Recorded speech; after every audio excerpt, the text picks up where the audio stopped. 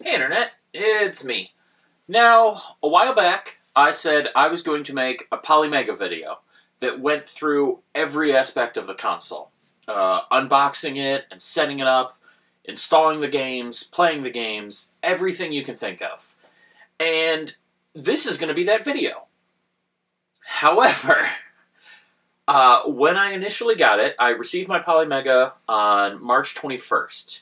It is now April 7th. So it's been just over two weeks, two weeks and three days, I think, something like that. Um, I, that first day, the 21st, I recorded four hours of footage. I unboxed the console and every module. Uh, I went through all the controllers. I installed the hard drive. I uh, got footage of installing a bunch of the games and how long that takes. I was pretty meticulous. I got a lot of video. And I was just waiting to finish installing the rest of my collection to make the video so that I could also cover what games did and did not work. However, um, my ongoing battle with OBS and technology in general uh, wages on, and it turns out that all of the screen capture footage from that original video didn't record properly, or got corrupted, or the gods have cursed me. I don't really know what the issue was. All I know is I do not have that footage. And because I don't have the screen recording, half the footage I took of myself referring to the screen recordings isn't going to make sense. So, I'm making this video, and I'll maybe put in parts of that video, and we'll just see what happens. But at the end of the day, I do still want to cover everything about the console. So, we're just gonna do that. I'm gonna do my best. We'll see what happens. Who knows? Um, first, I'll start with some of the positives. Uh, these are the boxes the console comes in. Uh, this is for one of the modules. The console box is very similar. I have to say, right off the bat, the box itself, I absolutely love. For one very simple reason. It's. No, it's not gonna. Gravity's not gonna work for me. But uh, it's like a board game style box where the top lifts off. There's no flaps you have to deal with. You don't have to cut any tape or break a seal or anything like that. It's just a good, sturdy, easy to open and close box. And I appreciate that. It's a very little thing, but it's noticeable and I like it. Uh, so, right off the bat, my initial first impression of the console, just opening the box, actually made me really happy. Onto the console and the modules themselves. This is the console itself. It's really sturdy. Uh, it doesn't feel cheap at all. Like it's got some good heft to it. It feels like a real decent console. Uh, there's the disk drive in the front where you put the various games: PlayStation, TurboGrafx CD, uh, Sega Saturn, Sega CD. They all go in there. It reads them. Uh, you install them on the console. Then you can play them without putting the disc in again, which is great. It has USB ports, uh, so you can plug in the universal controller. Uh, it also has a wireless adapter if you want to use it wirelessly. Um, you can also plug in a variety of uh, other controllers, like I think all the 8BitDo controllers work in here. Uh, I think if you have the cords, not 100%, don't quote me. I haven't tested every controller I own, or even a majority of them. Um, but I think the P- the PlayStation either four or five controllers work, as well as some of the Xbox controllers. Uh, but honestly, you're not going to need those. I'm going to talk about controllers for a second now. Set that down. These are really good. This is the universal controller. Uh, it's got, you know, built-in rumble, the dual joysticks, the same button layout you expect from any modern controller, and it fits comfortably in the hand. It's not a bad controller. It also doesn't feel like cheap plastic, like it's good construction. And when you like, you know, wrench on it and twist it, it doesn't creak and groan like cheap controllers do because you can tell you're stressing it. So it doesn't feel like it's going to break. Uh, it doesn't feel like it's poorly made. It's a really good controller. And honestly, that's one thing that I can say about all of the Polymega controllers is they all feel solid. This is the one for the 64. Uh, I'm glad they created their own controller because honestly, the 64 ones are not my favorite. This condenses everything into just two sides. Uh, so whether the game originally had you holding the middle joystick in the right or the left joystick and the right, or I don't think there are many that did it, but if you did like the left side in the middle, this doesn't have to deal with any of that now. It has just all the buttons on a regular controller layout because humans only have two hands, and why did Nintendo make that controller? Uh, so that's really good. Also, they've got them for the TurboGrafx, Sega Genesis, the NES. They all feel really good too. And I'm going to talk about the NES one for a second because they made some changes from the original NES controller that I thoroughly enjoy here. For one, if you remember the original controller, it's very angular. It is a rectangle complete with 90 degree corners. This has rounded corners. So if you're holding this in your hand like this, it's not digging into your palm here where the old controller would be. Likewise, you can see when holding it normally, I know it's upside down for you, but this is how you would, here, like that, uh, where your thumb fits naturally covers both buttons. On the original, the buttons were side by side, so you kind of had to do a little bit of a weird move to hold both of them, or just like push the corners of the buttons. But this, they both fit naturally under your thumb. You can easily hit one or both at the same time. It's just, it's a better layout, and it also has the little grooves on the back uh, where it kind of juts out behind where your hand's going to be, so you have a good spot for these fingers to rest and hold onto. And it just makes holding and gripping the controller a lot easier. It's more comfortable in your hand. It's it's definitely a better controller than the original. And the most important thing I should mention about all the controllers that come with the Polymega is that it has an original controller port on it. So if you wanted to, you could plug this into your NES and play the NES with this controller. You don't have to use an NES controller anymore. This can replace that, not just on the Polymega, but on any console. Your AVS, uh, the original NES, uh, one of the Retron monstrosities, like this will work in any of those, and that's really cool. The one controller I didn't show you yet, mostly because I forgot to pick it up when I was grabbing the rest of them, is this one. This is the Super Nintendo controller that they created. I have to say, this is the one controller of theirs I am not a fan of. Um, it's not bad. It's the same solid construction. It doesn't creak or moan. It's got, you know, a good button layout, all of that. The issue for me is I don't know. I don't even know how to explain it. Uh, this has the backing thing too that should make it more comfortable in your hand, but it just it doesn't. The way it's built, it doesn't feel comfortable in your hand. It feels weird. Uh, these domes are like they're too wide for your fingers to grab the edge. You know, you're not gonna hold the controller like this. Like that's obnoxious. Your fingers would naturally rest about here, and just I don't know. It feels weird in the hand. It's not bad. It's still a completely functional controller. It's perfectly fine. I don't hate it or anything. I'm not mad.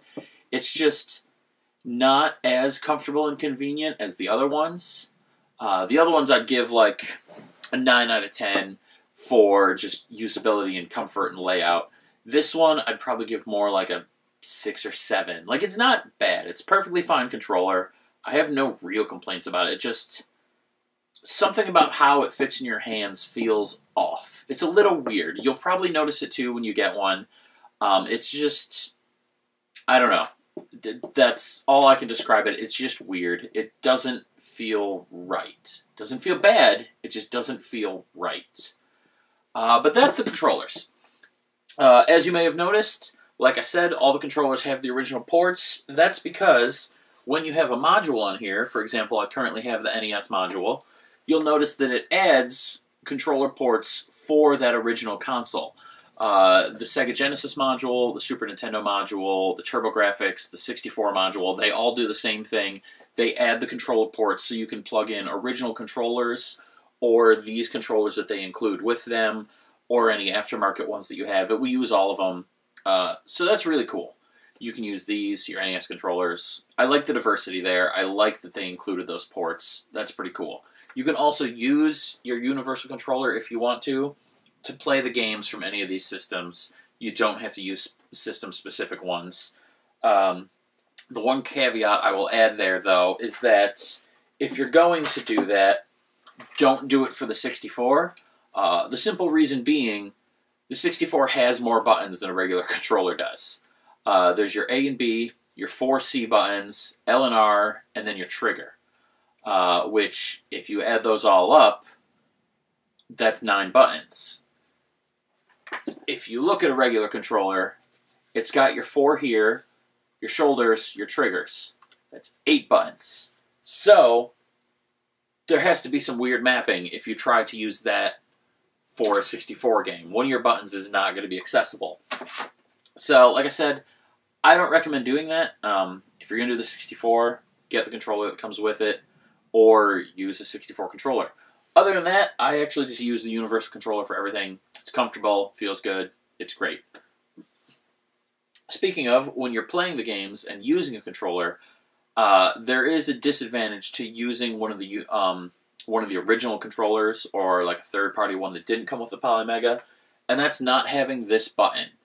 This button, unlike the PlayStation or the Xbox controllers, does not turn on the console, which is very annoying, by the way. Uh, but that's not what this is. This is the menu button in the Polymega. So when you're playing a game and you hit this button, pauses the game, and it brings up a menu, and that's where you can do your save states. Uh, you can take a screenshot. You can change console or game specific settings. It's all accessible through that menu. Uh, that's also how you exit the game and get back to the Polymega interface so that you can choose a new game.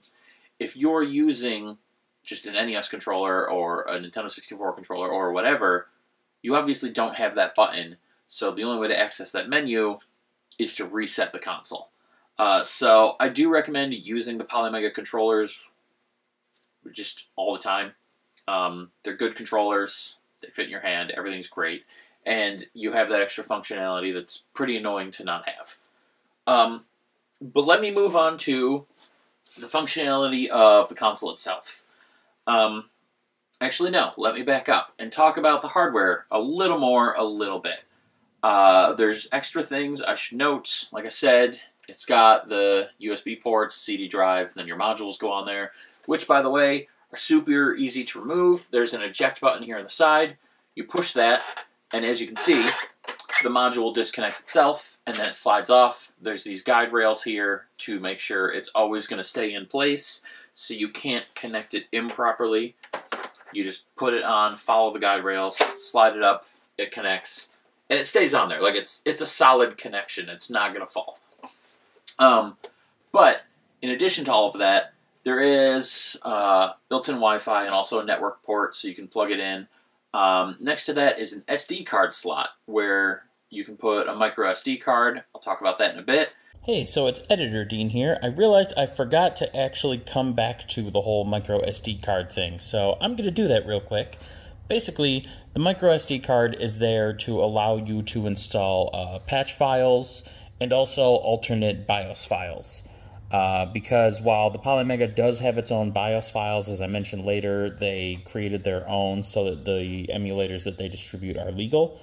Um, theirs are only so good. Uh, th- there are some issues that they'll run into with the occasional game. Not many. I, I don't want to like overstate issues. Uh, I've run into none, but I guess there are some. Uh, and some of those issues can be mitigated simply by telling the console to use the original system BIOS files from, you know, the Saturn, the Sega CD, the PlayStation, what have you, as opposed to the ones that come on the Polymega. And to do that, you have to download those original files with the exact correct uh, file name, uh, and this is all on FAQ on Polymega site. Uh, but you have to download those files, put them on a micro SD card in a folder called BIOS, and then the system can read them. Likewise, if you have any uh, like ROM hack patches, um, randomizer patches for Pokemon, or even just uh, fan translation patches, uh, you would put those in a folder called patch at the root of the micro SD card. And then when you're starting a game, you would have the option to start it with a patch uh, selected. And what that will do is the Polymega will automatically apply that patch to the game ROM as ripped from your media, and then play the game accordingly. Uh, so it's kind of nice. It patches your ROMs for you, assuming you actually have the patch. Um, and it's just a cool extra little feature, and I just wanted to make sure I pointed those things out. Um, so yeah, that's that. Now back to previous point in time me, I guess. And then at the bottom here, this little cover with the screw on it, that's where your SSD goes if you want to expand the memory of this thing. Um, built in, it has, I think, like 100 gigs. Uh, and then, you know, you can install your games, it'll fills up. So if you want, you can expand it by putting in an SSD. If you just have cartridges, the onboard memory is more than enough. Uh, games on cards take up no space at all. They're, they're minuscule. You know, your TurboGrafx, your NES, your Genesis and Super Nintendo games, I think they're all measured in kilobytes. If they are in megabytes, it's a small amount. Like, they are not big files. You could fit your whole collection on the 100 gigs that this has. When you get to discs, however, those are bigger files. Uh, those are anywhere from I think like four to eight hundred megs each. Um, and you know there are games with multiple discs, and some of those, like the PlayStation, has a massive game library. You could easily get up into the tens or even hundreds of gigabytes installing installing all your disc games. So you're probably going to want to install an extra drive. Yeah, a lot of people on the Discord and I was very active on the Polymega Discord. More on that in a bit too. Um, everyone recommended that you get the I forget the name of the set, but there's a set out there that has all the screwdrivers that can be used to open video game cartridges and consoles. It has all the specialty bits. Uh, like I think they actually just call it a game bit. Um, there's also the tri-wing that Nintendo used. Um, and also, they all come magnetic, so they'll grab the screws and hold them as you unscrew them, and they won't just fall. I did not listen. I figured I have small screwdrivers. I work in electronics. It's fine. Um, I'll just use one of those screwdrivers and do the thing. How hard can it be to put in a hard drive? Yeah, turns out those other people probably had those drivers too and knew what they were talking about, and I'm a jackass. Um, Installing an SSD without the proper driver is a gigantic pain. The screw doesn't want to get into the right position, and also there are multiple holes in there where if you drop the screw, it falls into your console and you'll probably never see it again, but you will hear a lovely noise when you shake it, and your very expensive console will become a maraca. I luckily did not do that, but I spent so much time uh, trying to put the screw on and hold the drive in place properly and not drop or lose anything. Uh, in fact, that's footage that I can use because you don't need the screen recording for context. So I'm going to drop that here. Not going to lie, that loosened a lot easier than I was led to believe. That did not seem as factory tightened as everyone said. So, some people might have been uh, over exaggerating the problem there. Anywho, once you remove that, you will now see an empty slot. And I realize now that that's the screw they were talking about. And that's why you want a magnetic driver, because there's a lot of empty space in there for that screw to fall into. Like right into the case of your console if you get it wrong. Let's see how tight that screw is. Oh yeah, that bad boy's not moving. Okay broke the tension, I'm going to unscrew it upside down. That way, if it falls, which it did, falls in my lap, not into the console. I'm a thinker. So, once you've taken that screw out, you need one of these. And, uh, what is it? M.2 NVMe PCIe SSD. A lot of initialisms, basically, is what you want. Uh, now this one's 4 terabyte. From what I understand, this can support up to, it's either 4 or 8. I don't remember which, uh, but I know 4 is supported. I checked on their website ahead of time. Also, 4 terabytes is absolute overkill. You can install the entire libraries of every console that this supports, and probably not cross that threshold. So if you're going to get a supplemental hard drive, four terabytes is more than enough. Two, honestly, is probably more than enough. I just like to go overboard because I don't know. I'm a bit extra if the room didn't give it away.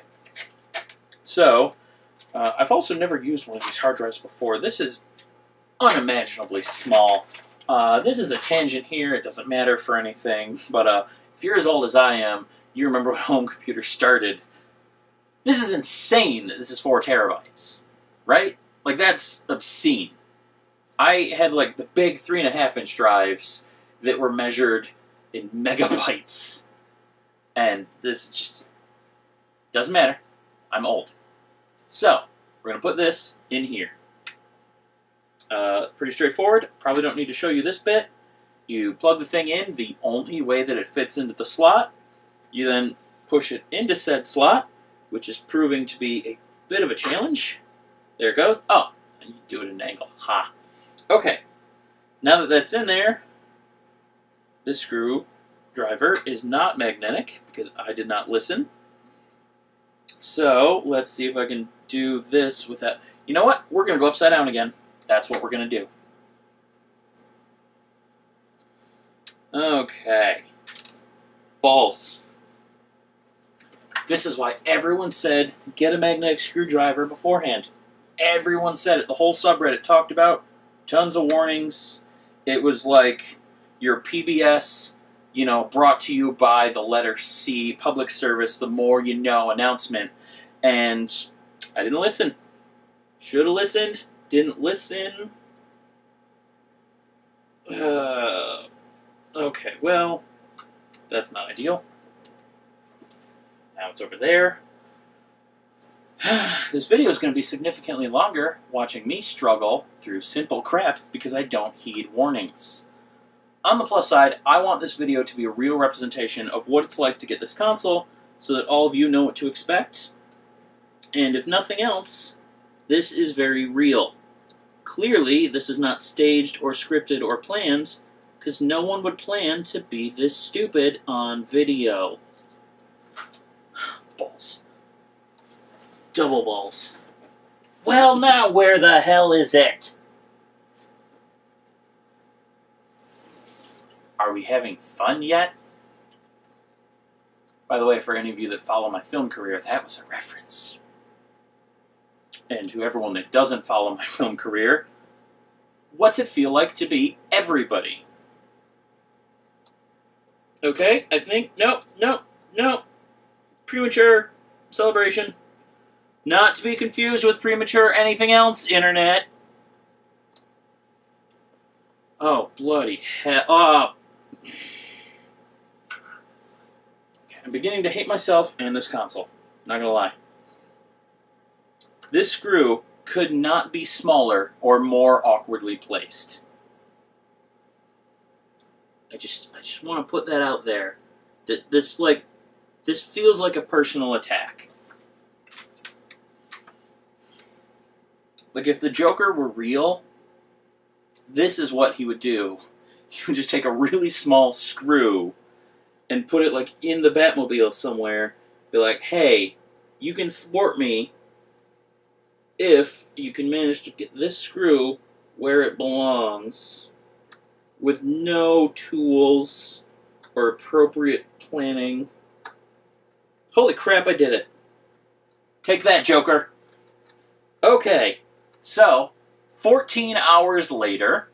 So, yeah, like I said, get the proper drivers. That was infuriating. Um, but as you saw, I did eventually put the hard drive in. I now have four terabytes, which is more than enough space. Uh, I do want to mention though that after you install the drive, you know you start the thing up, it'll recognize the drive and do what it has to do. Um, and the game also, or the console rather, will install some updates when you use it for the first time. Um, the OS on this takes up an unreasonable amount of space. Uh, between its own drive on board and a good partition of space on the SSD that I installed. This is taking up, I want to say it's a little over 200 gigabytes. That is unreasonable. That is obscene. Windows 11 does not take up that much space. Um, the Microsoft Office suite, Photoshop, uh, SQL, which is a server management utility, all of those things combined do not take over 200 gigabytes. This is insane. Uh, that is definitely a complaint I have. I don't know what the hell's going on with the OS of this thing. It does not need to take up that much space. And yes, I know they have databases for all of the various um, games that are on here. So for each console, they have a, data, a database of all the games for that console and the various iterations. You know, the European, Japanese, and North American release. Uh, so when you put your game in, it can it will check the database, match it to the data, say, oh, you input in this game, and it will load the box art and the various metadata and everything. That's great. In those databases, they're not storing the ROM files, or at least they really shouldn't be, because that would be the stupidest way to do it. Um, you, they're just storing what's called a hash, which is basically you take all of the code from the game, you have a computer system, and I'm trying to dumb this all down. There are people out there that will get mad at this explanation. I'm oversimplifying on purpose, so calm down. Um, basically, it takes all the code from the game, all of the metadata, everything, and it generates a unique string that represents that code. Uh, so then, what is stored theoretically in here in this database is that hash. So when you put your game cartridge in, you know, you put in Sonic Spinball. Um, this will use that same algorithm to look at the code for your Sonic Spinball cartridge, convert it to that unique string, that little identifier, and then compare that string to all the strings in the database. If there's a match, it says, oh, this game matches this other game. So, let me give you the data from the game in my database. So they don't have to store the whole game file. They just store that hash string as well as the metadata that they want to load. So this database, even if it includes every game for every console, uh, I'll get to that in a bit too, it should not be that big. And the OS is just a series of emulators. And I know some emulators are complicated. They're not so complicated that they should take up more space than the current top of the line operating system and I hate that I just called anything Microsoft has made top of the line, but you know what I mean. So that's annoying. Um, you know, I have four terabytes. It's fine. Like I have ample space. It's just, it's obnoxious. As someone that works in IT, I don't like bloatware. I don't like when file sizes are bigger than they need to be. And unless someone from Polymega or PlayMaji is the name of the actual company, unless they want to explain to me what the hell is taking up two gigabytes, it feels like bloatware and I don't like it. But I will move on. Uh, now, I've mentioned a few things that I said I would get to later. Uh, let me start with the Discord and the subreddit, um, and PlayMaji in general. PlayMaji is. What is the way to say this? Absolute bullshit. They are a terrible, terrible company. Um, do a little history lesson here. When they first announced the Polymega, it was going to be a console that was completely FPGA. Uh, again, I'm going to oversimplify everything because not everyone who watches these videos works in IT. Uh, to be clear, no one watches these videos. But if you're one of the two people that somehow does, you might not work in IT, and you don't need overly technical crap. So, what FPGA means is when you put in a game, hold on. ta-da! This is a video game. When you put this game into the Polymega, I know that's the wrong module, so it's just set there. Um, what the Polymega will do, it's not going to bring up an emulator, which is just a piece of software pretending to be an NES, or in this case, a Sega Genesis. Um, what an FPGA console does is it has, this is hard to explain in layman's terms, it has hardware that basically can reconfigure itself to match the hardware that originally played this game. Uh, so even though I'm not putting it into a Sega Genesis, the console will physically mimic a Sega Genesis and just natively play whatever's on here. you know, a lot of emulator boxes like uh, the Retron, or if you use most of the stuff in RetroArch with Retro Achievements, um, or any of those kinds of things, those emulators, uh, they have a database similar to what this has of all the games that were released for the console and are, we'll just say, approved to run with that emulator. Uh, so if you put in some indie homebrew games like any of the stuff released by Broke Studio or Piko Interactive uh, or any of the reproductions made by Limited Run Games, uh, any of that stuff, it's not going to recognize those as valid games and they're not going to play.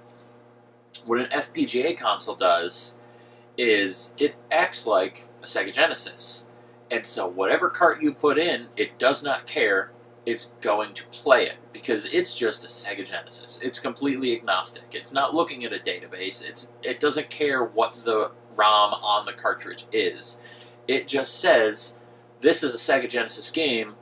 I know how to be a Sega Genesis. I'm going to play this game. Uh, so that's what the Polymega originally was going to be.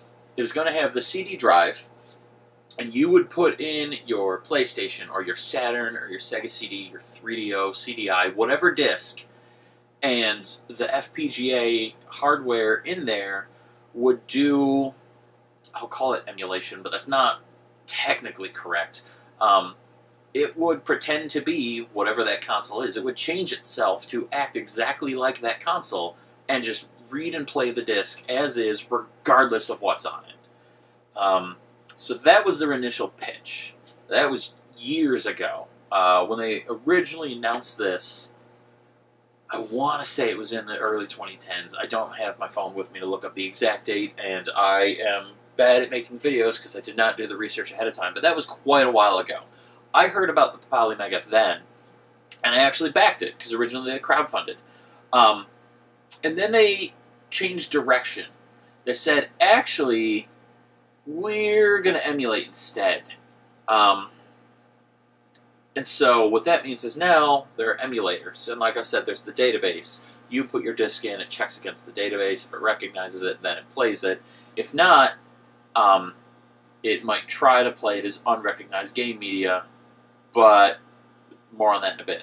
Um, so originally, when I heard they were changing directions, I decided, okay, maybe I don't want this. There's a million emulator boxes already out there. You know, I had a Retron at that point, and that's a very hit or miss console because it's an emulator and doesn't play on supported games. I didn't want to go down that route again, so I just, I, I, I decided not to back it. I kind of lost interest. I basically forgot about the console. Um, years later, I heard people mentioning it again uh, it seemed like it was still in production. It wasn't going to happen. You know, it was a stuck in development hell, maybe even a scam. Who knows? Um, so I kind of lost interest again. I'm like, oh yeah, I remember that thing. It sucks that it never happened, but I guess it wasn't meant to be. And then sometime last year, I don't remember how, but I stumbled across it again. Uh, people were talking about it and saying, hey, it's going to ship soon, and Atari just uh, partially bought you know, Playmaji, the company that released it. And like it was a whole big thing. I'm like, oh, I remember that. So I looked into it some more. And one of the things that they do now is they have all the modules, so it's not just the CD games anymore. They will play all of your cartridge based games using these modules, which is really cool. Um, but also, they if you put in a game that isn't in their database, the emulator will still try to run it. And you can add in as like a custom thing all the metadata and define what the game is. So if the hardware is able to play it, uh, even as an unrecognized game, you can still install it and add it to your collection. And that's the big thing I didn't touch on yet, is when you put in your game discs or your game cartridges, it installs them. It builds a collection on here, on the hard drive that you installed, and it holds them there and it recognizes these are all the games that you have. Uh, this is your entire collection. It's like a virtual bookshelf, basically. So once you do that, if you want to play that game, you don't need to reinsert the disc or the cartridge. You can just play the game, regardless of what controller you're using or what module is connected. Once you've installed it, it's yours. It's there. You can just play it. Um, so if you have a very large collection, like yours truly, and you have I don't know, let me pick a random number 1,318 games across all the platforms that the Polymega supports, you could put them in and install them, and then you never have to change media again. I don't have to change consoles. I don't have to take out discs and put in carts or vice versa. It's all just here, and I can play it. That's the theory. Um, so I heard all that, and I'm like, oh, that actually that does sound appealing. I'm still not sure how I feel about emulator boxes. I'd really rather it be FPGA, but there are benefits to doing it the way they do. For example, if you have these databases and you recognize games and you know that this game matches the one in your database, you can do stuff, for example, like add achievements because you know what the games are. If someone puts something in, you know, oh, it's this game, the code looks like this. And in this game, we know there are certain milestones players try to hit. Let's build achievements based on those milestones. Also, they could do a cheat menu where if they know what the game is, you've matched and said, yep, this is a copy of Mega Man 3. Well, then you can put in the Game Genie codes and just store them in the database on your console so that when someone puts in their Mega Man 3 cart and it matches and says, yep, definitely Mega Man 3, then they just have the option to toggle on and off those cheats for, you know, the moon jump or infinite energy or an always full charge on each of your sub weapons. Um, they can do those kinds of things, and that's great. That would be really cool. They did not do those things. Any of those things. A lot of room for improvement there. But, back to what I was originally kind of talking about. Uh, Playmaji is bullshit. And now I'll touch on why. See, I heard about this console in the middle of last year after Atari acquired some of their stock. The reason Atari had to acquire some of their stock is because Playmaji took orders for the Polymega. People gave them a bunch of money and said, Yes, I want one of your consoles. This is a pre order. I'm giving you money, you give me a console. That's how commerce works. Uh, what Playmaji did is said, Cool, we'll totally take your money. And then they placed orders with a manufacturer and then they didn't pay the manufacturer. So the, manufa- the manufacturer produced the consoles and then held on to them because didn't get any money. You know, if you don't pay them, they're not going to release the hardware to you. They don't build things for free. Um, and Playmaji said, "Oh well, I don't know. We don't have the money to give you. I don't know if they spent it on payroll. I don't know if they spent it on cocaine. I don't know where the money went. I just know, as me, the awkward gamer, this guy sitting here in front of the camera, I personally know that the money did not go to the manufacturer. So, that means all the people that had placed pre orders were never getting a console. The money was gone, the consoles were not being released. It was never going to happen. They had been ripped off. It was a scam. They did not receive anything. Now, I'm not saying it was intended to be a scam. I'm not saying they planned to rip people off. But the truth of the matter, the actual facts, what historically happened that we can prove, is that Playmaji did not give the money to the manufacturer, and none of the customers were going to get games. They, they can't deny that. That is what happened. That's the actual facts of the case. You know, um, had Atari not come along and things just continued down that road, when you heard Playmaji or the Polymega, it would probably be in the subject line of a lawsuit and being covered on the Legal Eagle channel. But Atari did come along. Atari said, hey, we're going to give you a bunch of money, go pay your manufacturer, and let's get these consoles out the door. Also, we're going to do an Atari module. It will play 2600 and 7200 games because they're the same form factor. They use the same chipset and the same amount of pins. Um, so that's what they did. Uh, and around that time is when I placed the order. Because I said, okay, you know, Atari's on board now. They've been around for a while. They know what they're doing. Uh, this should be a semi safe bet. I'll do the thing. And Playmaji, around the time this happened, they also released a public statement said, hey, we realize there's been some issues. There's been a lot of delays. Uh, we haven't delivered what we said we would yet. We apologize for that. We're working on a Polymega app for your phone. And, um, you know, because people don't have their console yet, we want to apologize to you. We want to make it up to you. We want to retain you as customers. So, what we're going to do is all of our customers that have already pre-ordered are going to get a free year of our premium app. Uh, so that's pretty cool. And I, you know, I'm like, you know what? I like the idea of this. I like having more consoles and more ways to play my old hardware, and I love the idea of not having to change hardware all the time. So let me get one of these. I went all in. I got the base module, uh, the base unit, and every module. So, like I said, the 64, TurboGrafx, NES, Super NES, Sega Genesis. Um, I got a couple extra controllers, a second Universal controller, and then a second uh, 64 controller. And I also ordered their light gun controller, which I will get to in a bit. Um, so, all in. Said and done, that was about $1,000. It's a very expensive console. I will put that out there now.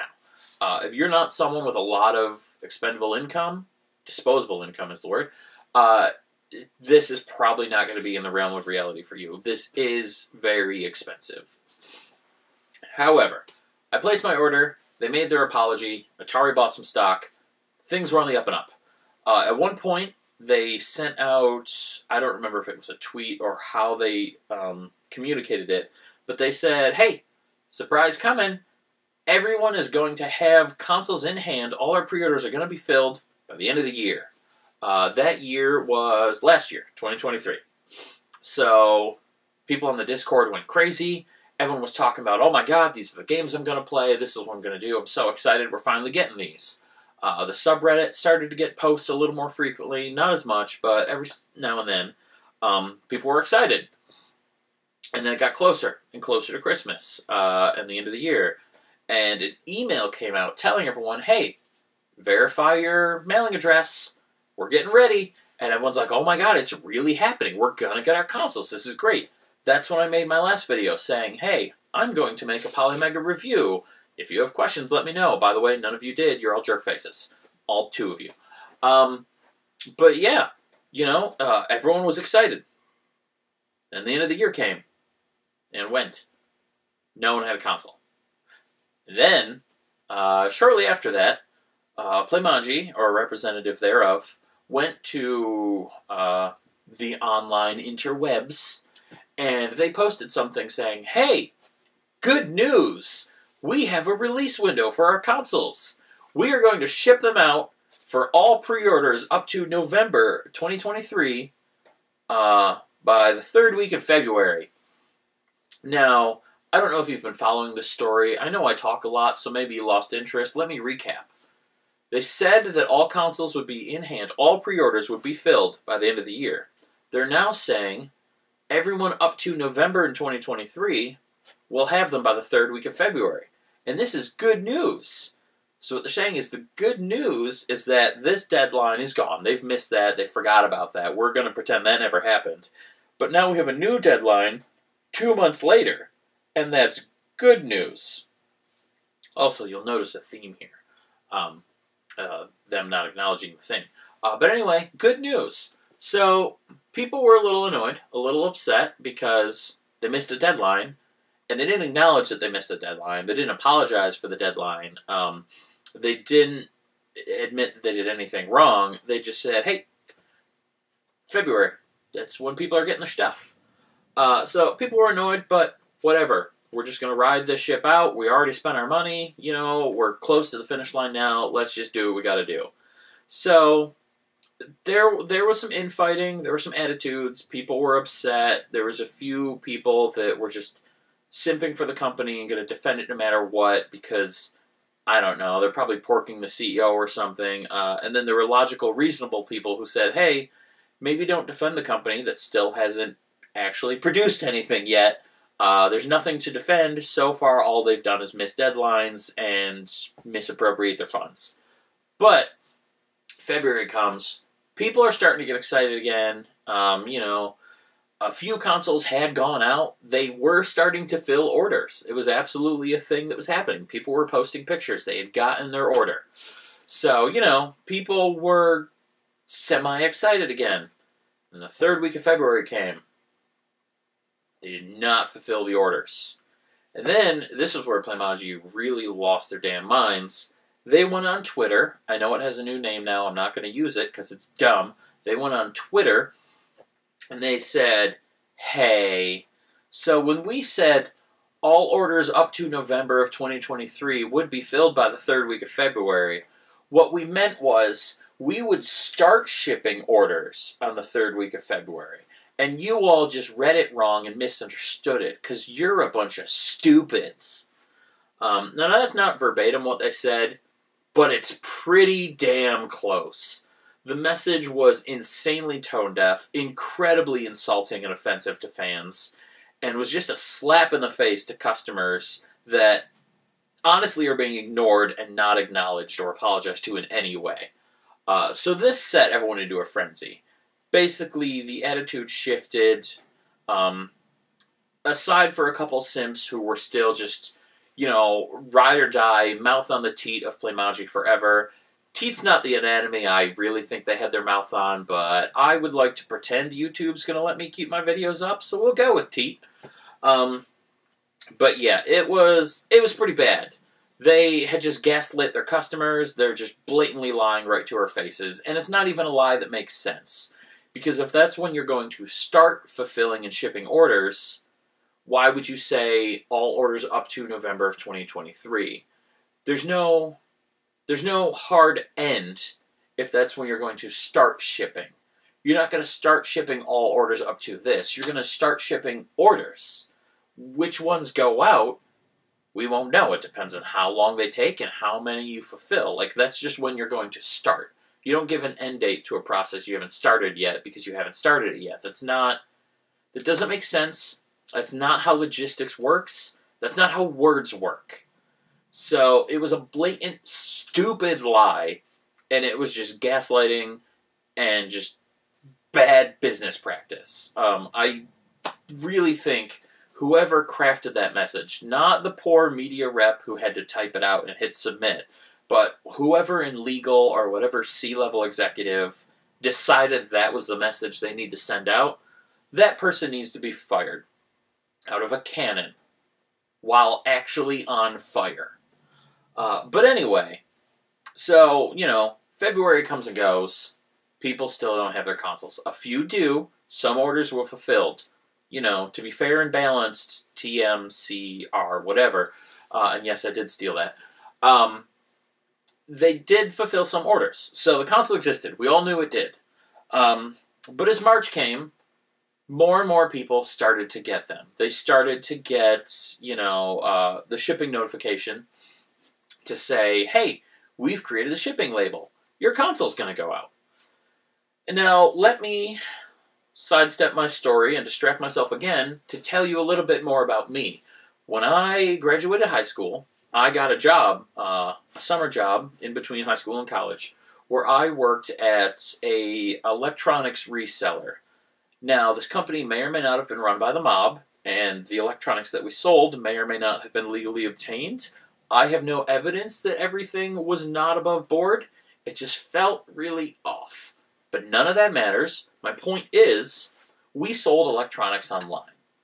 All size and shape, all manner of electronics. Some of them were PCs, some were medical equipment. Uh, we had various monitors. Once we got an old jukebox. Um, uh, we got light bars. We got just every kind of electronic device that you could imagine. If it plugged into a wall, it came through our warehouse at one point or another. We had to identify this equipment we had to list it online for sale, and then when sold, someone in our warehouse team, our logistics team, whatever you want to call it, they would go out to the warehouse where the items were. They would pick them up, bring them into the packing room. They would, you know, put in the appropriate foam, place the item, finish off the box, seal the box, weigh it. That would generate the shipping label. They would put that on the box, and then it would be moved to the dock to be picked up on one of our shipping days and go out to the customer. Um, now, our warehouse was a very big room, lots of racks, like the one you see of games here. And what they would do is each rack would have little number cards. This, the number on this card would match the order number that the item was, and it would be right there with the item in that little space on the shelf. Uh, so when an order sold and we knew that it had to be packed up and fulfilled, that order number went to our logistics team and said, hey, this is the order, here's the number, look for that number in the warehouse, here's a list of items for that order, That's what you should be pulling from the shelf where that card is. Uh, put those in a box, send them to so and so. Our logistics team was filling anywhere from like 100 to 120 orders a day. It was three people. And then we had shipping, uh, we had like the USPS or UPS, whoever it was, I don't even remember to be perfectly honest. Uh, they would come and pick up orders. I believe it was three days a week. They would have, you know, they would come with their big truck. They would take the pallet with all the pre packed, pre labeled orders, put it on their truck, send stuff along. Um, so the longest you would wait to get an order between us creating the label and it going out the door would be February or would be Friday to Monday. So like if end of the day on Friday you purchased an item and our logistics team happened to see it, uh, the USPS truck had already come. They've already taken orders for the day. So but they're still going to pack your box and get it ready. So they're going to put the item in the box, generate the label, you'll then get the email notification saying, hey, your label is generated. They're going to move it over to the warehouse, and it's going to stay there until Monday when USPS comes again to pick up the next order. So you're going to wait three days. Playmaji, they decided, hey, we're just going to somehow generate all the labels right now. Um, so my label, for example, was generated in February. Uh, it was February 29th that that was generated. February 29th. Two weeks later, on March, what was it, 14th, I want to say, 15th, somewhere in there, uh, it was second week of March.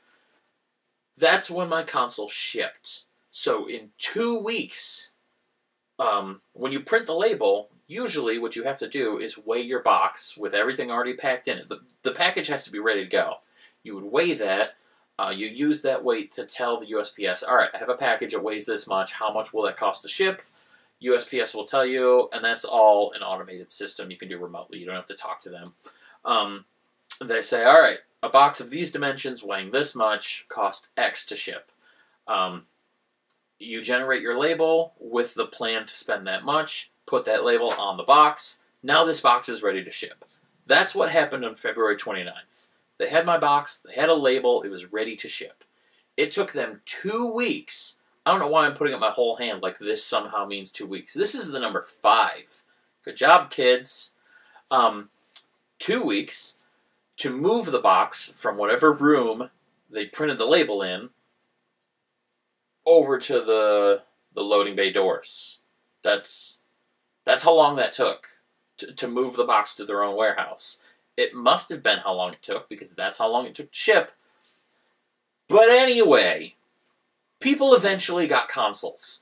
It took too long to ship. There was a lot of lying and gaslighting and missed deadlines in between those stages, but people eventually got them. Nearly every order has been fulfilled now. There's a couple stragglers that were having some issues, and there's a whole debacle between Playmaji and WWD. But that's not that's not the issue here. The consoles went out. People have them. So, now, you may be thinking, well, hey, Mr. Awkward Gamer, sir, internet genius that you are, you mentioned an app that people were getting. What happened with the app? I am riveted in your wonderful storytelling. Well, thank you, kind viewer, for your polite words. Um, and you were very keen eyed to remember the app that I mentioned. See, what happened with that is nothing at all. Uh, much like with the consoles, how they constantly missed deadlines and then just didn't acknowledge that they missed a deadline, or even tried to say, "Hey, we're doing great because we have a new deadline." Um, the app, you just kind of forgot about.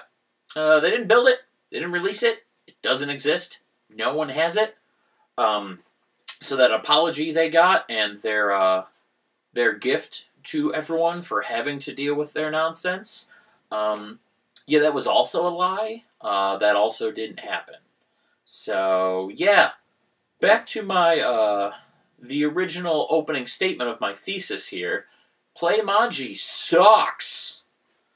Um, but we now have consoles, so yay. Well, yay for some people. See, the other thing is, uh, the stories don't end. Um, when they started finally getting their consoles in and producing them and releasing them, it turns out their quality control was not the best. Uh, for example, they released their uh, Nintendo 64 module, which would play your Nintendo 64 games. That's pretty cool. Nintendo 64 emulation is notoriously tricky. Uh, it's not great. Most companies fail at it. There are emulators out there that you can get to play N64 ROMs, which, by the way, don't use ROMs. That's illegal, bad. Um, and they're always crap. You know, those emulators are very hit or miss. Uh, the emulation is not good. A lot of games, the graphics won't render properly. Uh, they'll be very janky. They will stutter a lot. Um, sometimes the controls won't be responsive like they're supposed to, or the audio won't work. Like, just nothing but issues for Nintendo 64 emulation what Playmaji does is they build their own emulators. They're not using the readily available ones that exist out there today. They are building their own emulators in house, and their self proclaimed goal is to have 90% support for games. Uh, so their emulators need to play at least 90% of the, the known official library for whichever console they're emulating before they'll release it. So they sent out their N64 modules they hadn't finished the emulator yet. And because they hadn't finished it yet, they hadn't released the software update for the console to allow N64 games to be played. So what happened is users that had already gotten their Polymega, or users that were just receiving them, when you put the N64 module on, the Polymega did not know what to do. It did not have the appropriate software to support it yet. It had not gotten the update. Uh, so when you put that on, it bricked your console. Uh, the console would not play, it would not start, it would not do anything. For as long as that module was attached to it, it was useless. Now, luckily, it did not permanently brick it. If you remove the module, you could then play your console again, just with a different module or without one.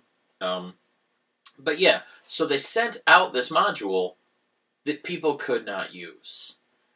That's not great um, if you're sending something out to your customer, like they paid for a product, and then you're like, okay, cool, here's your product. If what they receive does not work and cannot work, like it's not an issue with their individual unit, it's an issue with all of them across the board. It's impossible to use them because the support is not there yet. That's bad practice.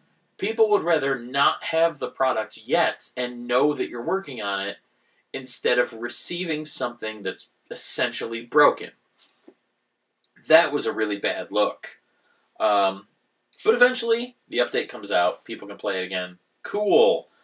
Uh, the problem is they started fulfilling the rest of the orders. Like I said, in March, everyone was getting their consoles. These orders did not get good quality control. A lot of people started receiving broken consoles where they would get their Polymega, they would put it in, it just didn't work. Like at all. It just would not function. Um, and they never acknowledged that. If you contacted support and they read your email and maybe responded to you, which who knows, could happen the next day, could happen in three weeks. Turn around with their support, not great. Um, they would eventually offer a replacement, but you had to get a hold of them. And also, after waiting however many months or years for your console, you get it, you're excited, you open it, you plug it in, it doesn't work. Like, even if they offer a replacement, that immediate disappointment really sours you to the company. So, a company that already was on loose footing with their fans is now just pissing more of them off entirely. Hey, it's Editing Dean again.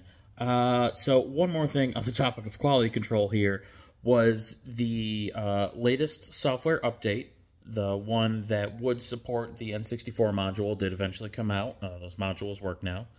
Um, but it introduced a new problem, and that is that the Super Nintendo emulation no longer works correctly.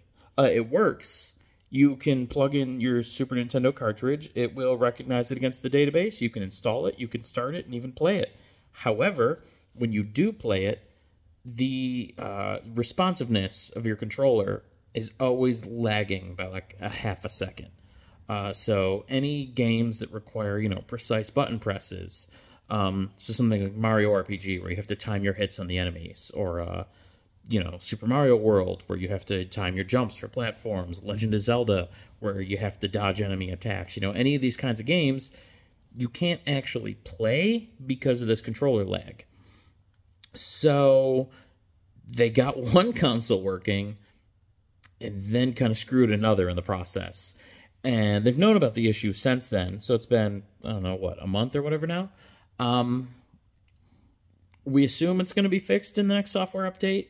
I don't know if they've 100% confirmed that they know how to fix it yet, but uh, they're eventually going to fix it, but they still haven't yet. So everyone finally got their consoles about a month ago and haven't been able to play one of the uh, systems that it supports on that console because they screwed up yet again with their QC and their software. So, yeah, they're just really on a roll. And then other people,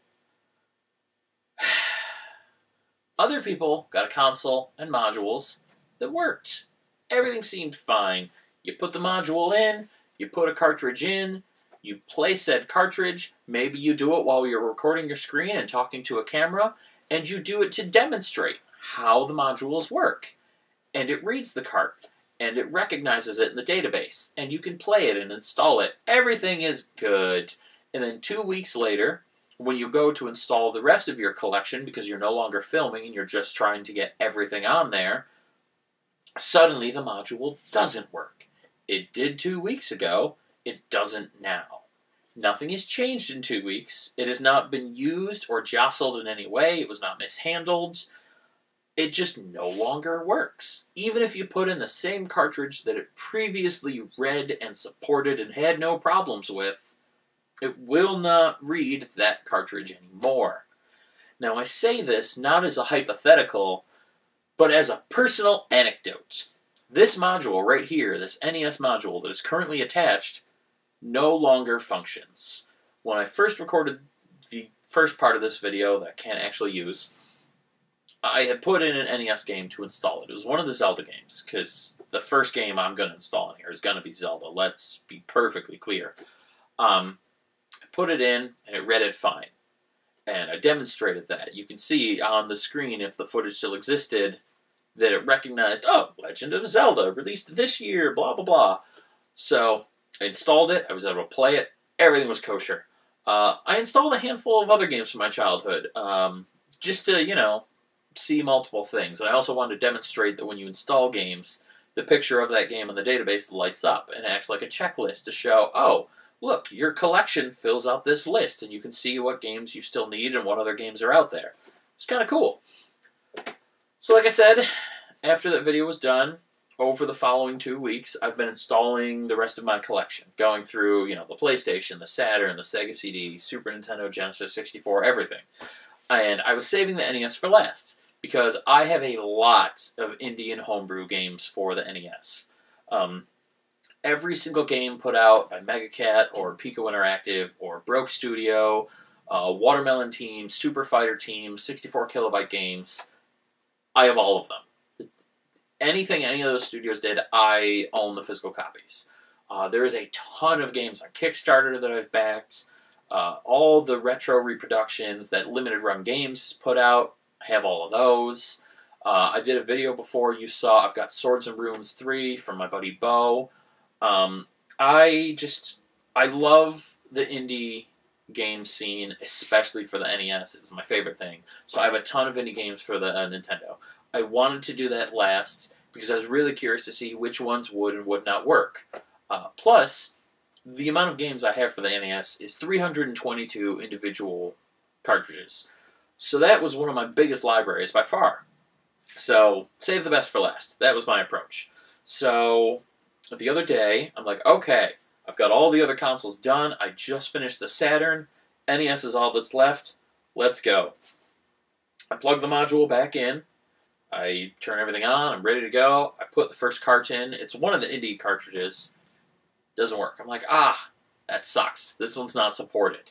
Uh, like it shows up as game media, which is the generic thing you see on the screen when a game that's not in the database shows up. And sometimes that happens. You hit play anyway, and just oh, let me see. sometimes the game will work. I had a number of indie uh, games that did work despite not being officially supported. I even had some ROM hacks that people put out. A couple of them worked. That was really cool. Was not expecting that. They don't have to support them. Uh, officially, the company stance is that we don't support them. But these ones, for whatever reason, worked. I was really thrilled about that. So that was great. I was on a roll. But for the NES, they just weren't working. I'm like, ah, rats. You know, I went through maybe a dozen, and all of them, same thing. Showed up as just generic game media, and when I hit the play button, it's just a big green screen. Uh, they're not functioning. So that kind of sucks. So I'm like, all right, let me, you know, shift tactics for a bit. Let me just install uh, some of the official releases. The first one I grabbed was Wally Bear and the No Gang, which is not actually an official cartridge. It's an unofficial cartridge. Uh, I put that in, same thing. Game media, green screen. I'm Like, oh, well, they did say unofficial cartridges won't always work. You know, some of the Tengen cards, the Quattro cards, the various other unofficial things that were part of the classic library but never received the Nintendo seal of approval. Whether or not they're going to work is kind of up in the air. You know, officially their stance is we focus on supporting official games. So I'm like, okay, you know, Wally Bear not working, that really sucks. It was a game I played a lot as a kid. Um, I was really, you know, I wanted it to work, but fine if it doesn't. I guess they never said it would. I can't be mad at them for that. So I put in Star Tropics, which is one of the games I had actually initially installed uh, when I was demoing this on that first day in recording. So I'm like, Star Tropics, I know is work. Uh, I know works, rather. In fact, that specific cart I had already cleaned to get it to work the first time, so this specific cartridge I know the console supports. It has already come up. It's already recognized on the DB. I've already installed it. I know it works. I put that one in. Once again, generic game media. And I hit play, and I get a green screen. So suddenly, my games weren't failing. The module is. It's not recognizing or reading any of my games, even the ones that it previously read. And so I took to the Discord. I mentioned it there uh, because people in there are very active uh, and they're very, for the most part, supportive. Uh, so I'm like, hey guys, having this issue, thoughts? Uh, and I got a whole slew of responses. Some people are saying, hey, maybe try taking the module out, put a different module in, read a game with that module, uh, basically wake the console up, get it to understand how to read games again, then pop that one off, put the NES one back in, try again. I did that. No bueno. Still getting a green screen generic game medium. Uh, then some people said, hey, do you have your Wi Fi disabled? And I said, yes, I do.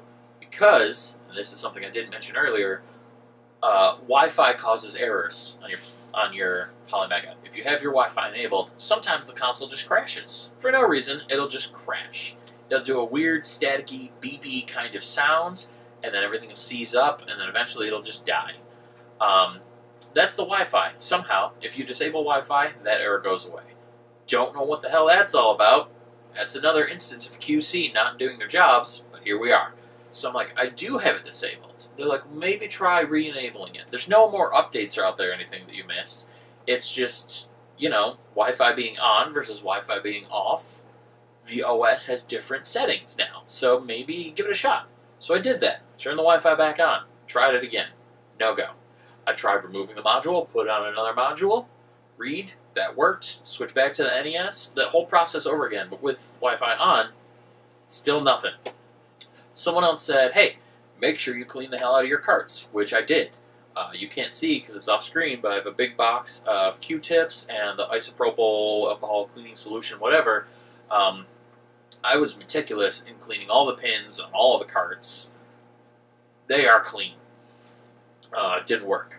And Star Tropics, like I mentioned, that specific cart had already been read, recognized, and installed using this module before. So it doesn't need to be cleaned again. I already know it works in here. I did clean it again just in case. Uh, I tried it, still nothing. Some people said maybe uh, there's like death grip, you know, maybe the pin's just not registering or registering too tight, whatever it is. Put in one side at an angle and kind of, you know, push it down in that way just to make sure it's perfectly aligned, everything's good. I did all the things. None of the things worked. I looked inside at the 72 pin connector to make sure there's no corrosion, none of the pins are bent, there's no debris stuck in there, there's no issues, and there aren't. It still, it just does not work. So I contacted support. I haven't heard back. So that's why I'm making this video now. See, my goal was I really did want to wait until I had gone through and done all of the roughly 1,300 games, and I wanted to report back to you with which ones did and did not work. I wanted to be able to give you a full, comprehensive list of out of all the titles I have uh, official titles, unofficial titles, indie and homebrew titles, ROM hacks that reported to cartridge, reproductions, everything. I wanted to give you a full rundown of what does and does not work. But I can't. Because I don't know when I'm getting a replacement for my NES module. To be honest, I don't even know if they're going to replace it. I still haven't heard back from customer service. If they don't replace it, I am going to be furious because it's very expensive. I used it one time and it died within a two week span that is absolutely unacceptable. But, I don't know. Gotta wait and see what the future holds. Gotta wait and hear from customer service, and that could take who knows how long. So, making this video. Now, I've said all that. Uh, half this video now, I believe, has been me telling you how awful Playmaji is and how awful the rollout of this console is let me take a turn here. This is a solid console. The company that makes it is shit, and sometimes what you get is a broken hunk of garbage. But the majority of people are not having those issues. The majority of people got a solid console that works as intended, all the modules play the way they're supposed to, and everything is good. And for those people, they sing the praises of this console even with the price tag, even with the weight, people are thrilled with what they got. And honestly, NES module aside, I am one of those people. I am thrilled at this console. It installed most of my games. It they all run wonderfully. The controllers are incredibly comfortable. The interface could be improved, but it's also not terrible. Um, it's just it is a lovely console. It is a great way to play your games. You have everything all in one place. Uh, like I said, it's a little iffy the interface. It's a little confusing trying to get stuff. To actually just see a full list of all your games is not the first thing on the homepage, and it really should be. Uh, also, if you go into your collection for each individual console, the um, games that you installed custom that didn't match the database don't show with your uh, console based collection. So, for example, if I go into Super Nintendo, I'll see my Super Nintendo games. What I won't see is Hyper Metroid, which is a ROM hack for the Super Nintendo that does work on this console, surprisingly, um, but it obviously doesn't match the database. There's no ROM hacks in there. Uh, so that shows up in what's called extended sets, which basically is the bucket for all your custom games, regardless of console. Uh, that's disappointing. If I go into the Super Nintendo menu I don't care if it's officially part of the Super Nintendo database or not. All I know is it's part of my collection. It's a Super Nintendo game that I installed. I want to see it there. Uh, so that's a little annoying, a little obnoxious. I do not like that. But it's still accessible. You just have to do a roundabout thing. Um, it still plays, and everything is really good. It's very solid. But there is room for improvement. That's what I'm going to talk about next like I said, the console is great. Uh, it reads and plays most games. Uh, there are some weird exceptions that I want to address, and one of them is up here. Two of them are up here. Okay. These are a couple games um, that I'm going to talk about for a second. The first one being Egg for the PlayStation. It's a Japanese title. I don't know how well you can see, but uh, it's Japanese. Everything in the back entirely in Japanese. You probably can't read any of that. My point is, this is an official release. It's an actual game for the PlayStation. This was an official Sony approved release. This does not recognize. When I put this in, I get game media, the generic message. Now, when that happens, you have two options. You can either manually match it to a game in the database, or you can enter it as a custom game, like I said before. Now, manually, if I scroll through the database, Egg is in the database. Multiple versions of it, uh, because there are multiple iterations of this, different disk images. Um, and I can match to it. But this disk, for whatever reason, when it gets the hash of the image of this disk, it does not match any of those ones. So there's either additional versions of the game that were not registered in their database, or it's just not reading my disk properly. Either way, I had to manually match it, and when you manually match it, it still shows up as a custom game. It doesn't show as actually being in your collection, and it does not light up that icon in the database of PlayStation games. That's a little annoying, but it's fine. I can play the game. I don't care. Uh, this one, however, Darkstone, a very good game, another official release. I will show you real quick. Uh, it's a black disc, so I don't know how well you can see, but this disc is damn near flawless. You know, there's no deep scratches or scuffs. There's there's no signs of disc rot. There's no spots. There's no chips or nicks or cracks in the disc. This is a very good disc. When I put this in, it did recognize it. It matched it to the database. It said, oh, this is a copy of Darkstone. I know what this is. So I told it to install, and it started doing that. Uh, now, CD games, when you install them, they take a minute. Cartridges, they install instantly. Like I said, the file size is tiny. They're just boop, done. When you hit install on a disk, you get a countdown bar. It's going to take a minute. In fact, it's going to take anywhere between 5 and 15 minutes. Uh, but Darkstone started installing. And it went for a while. It got to about 96%. Then it failed and ejected itself and said, ah, sorry, invalid installation. We encountered an error. Please go to hell. Um, and it would not install. So I tried again. Actually, first, I tried cleaning the disk. I got a microfiber cloth. I gently wiped it just to make sure there's no debris. You know, a stray dog hair didn't get on there. There's no dust caked on it. There's no fingerprints uh, or any kind of smudges or oils or anything on the surface of this disk. I made sure 100% clean. I reinserted, tried again, same end result. So it's an official disc. It even recognized the image. Um, there's nothing on the disc to mar it from working. I've played this on the PlayStation and played the game to completion and beaten it multiple times. So I know for a fact the disc is playable all the way through. It just won't install it. And I had that happen for a number of games, actually. Um, Lunar Silver Star Saga for the Sega Saturn, same issue. Um, the disc is perfect, it's flawless, it's basically brand new. Would not play. Um, Azel uh, Panzer Dragoon RPG, another Saturn game, also an import actually. Um, likewise, did not work. All the discs are perfect, just wouldn't play them. Uh, my copy of D the Sega Saturn didn't work. Disc looks great, just wouldn't do it. Uh, so that's annoying. I had a number of discs like that, and I just I don't understand what the issue is. Like I said, the discs all look flawless. If they were scratched, I would get it. I had a couple games that. Do, do, do. Wow. Yeah. Sledstorm for the PlayStation. Don't even know why I have this game. Uh, this one, you're not going to be able to see too well, uh, but this was one that someone tried to resurface or put in a cleaner. Uh, they didn't do it properly.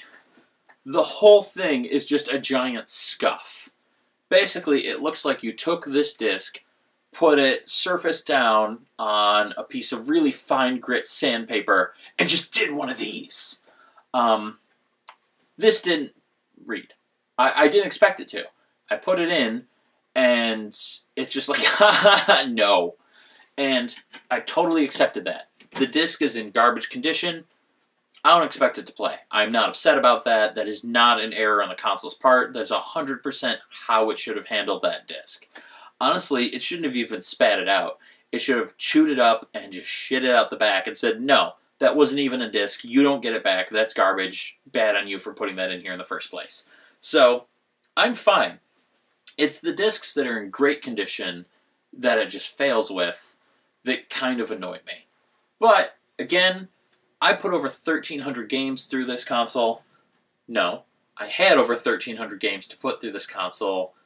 300 or so of those NES ones haven't gone through it yet, but I've done about a thousand games, and I think there were eight or nine where it read the game but would not install it. It errored out. I'm okay. It it's crappy that it happens. I don't want the failure rate to be greater than zero, but whatever. It is what it is. Um, basically, I just. I don't even know where I'm going with that conversation. I guess it's just explaining things that can happen uh, because it does. You know, it will happen. It happened to some other people too. Talking in the Discord, a lot of people would have a game here or there that just for whatever reason wasn't working. Uh, I had a couple Famicom games that I cleaned the hell out of those pins. My Famicom adapter, I cleaned both sides of that, the receiver and the pins at the bottom. I cleaned everything. And just those two carts, it just, they didn't work. I don't know why. Everything was fine. They just did not work. Um, it just happens. You know, sometimes it is what it is.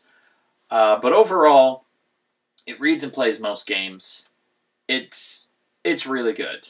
I do. I did want to include a finite list of all the noteworthy. Well, I wanted to include a finite list of every indie game reproduction, ROM hack, whatever that I tried, and whether or not it worked. Uh, but I can't because I can't get through the NES thing. So I will give you some of the highlights.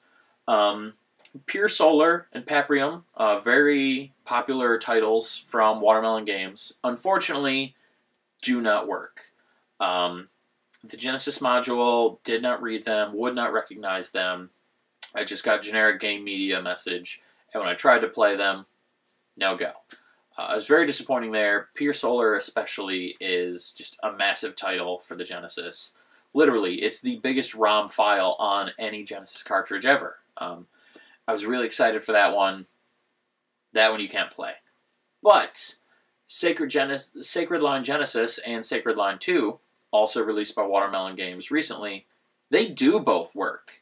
Uh, you have to run them as custom games, obviously. It doesn't understand what they are natively, but they do work. And that's really cool. Uh, like I mentioned before, Hyper Metroid, which is a ROM hack of Super Metroid, that also worked. Uh, Pocket Monsters 2 for the Genesis, which is, uh, for anyone unfamiliar, a very interesting and really cool ROM hack um, that turns Pokemon into like a side-scrolling mascot platformer, like an Earthworm Jim kind of thing, basically.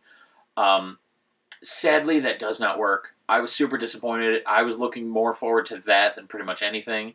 It does not work. Uh, so sadness there. But a lot of the Mega Cat carts and the Piko Interactive carts did work. Um, if you want to play, you know, Fork Parker's Crunch Out, you absolutely can.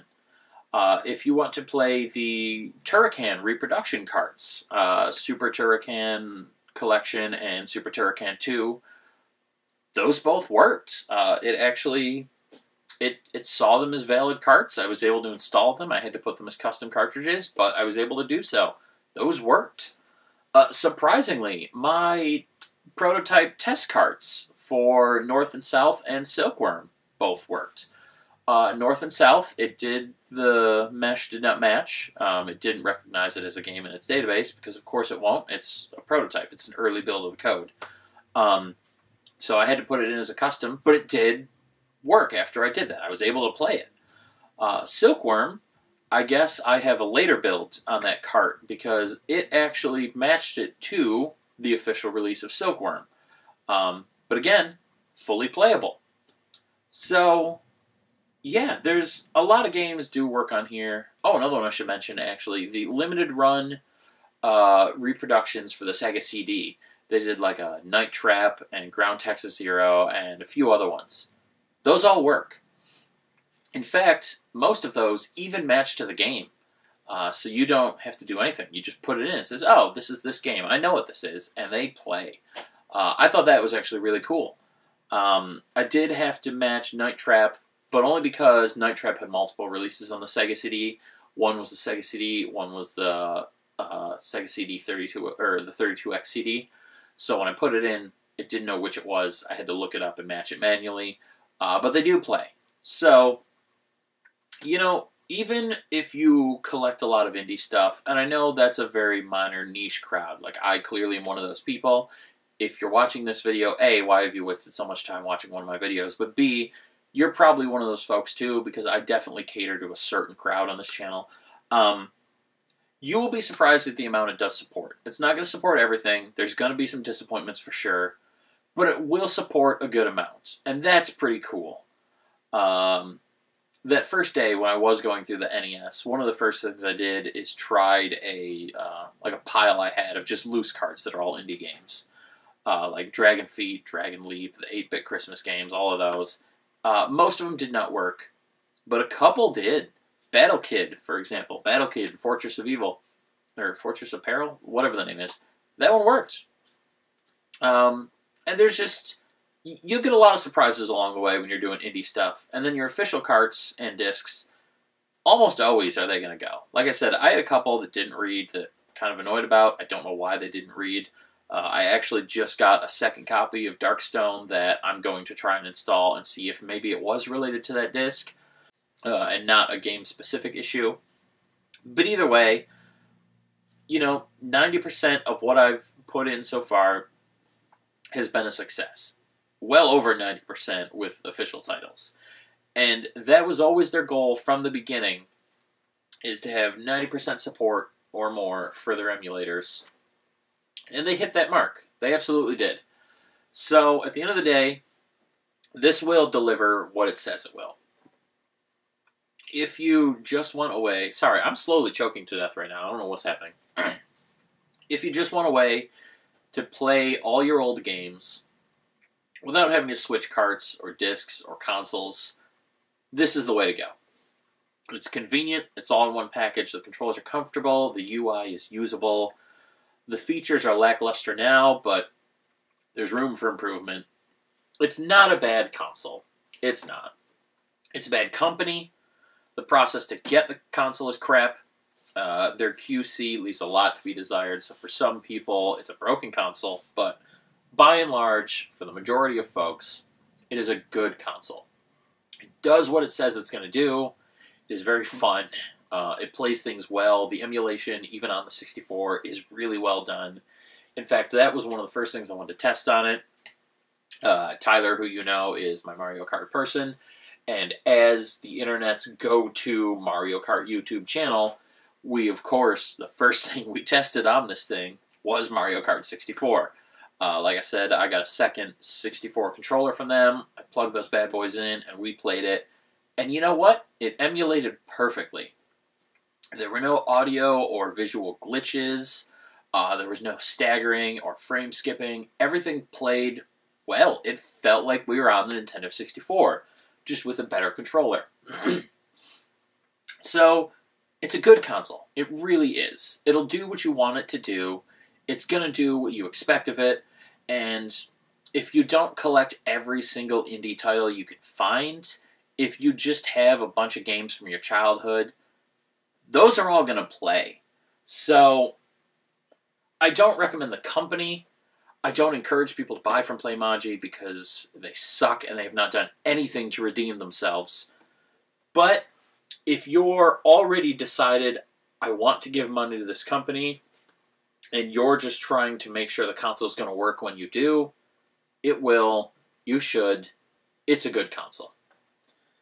And now, finally, I want to talk about the room for improvement for this console because if I just come here and complain for Jesus Christ an hour and 20 minutes about this company and this console, then I'm just a whiny asshole. I want to talk about what they can and should do to improve things. Uh, first and foremost, things that we already know are coming. Uh, like I mentioned earlier briefly, the light gun controller. That's going to be a big one. See, they took orders for a light gun controller, and what it's going to do is act as the light gun that's sold with any or all of the consoles that this supports.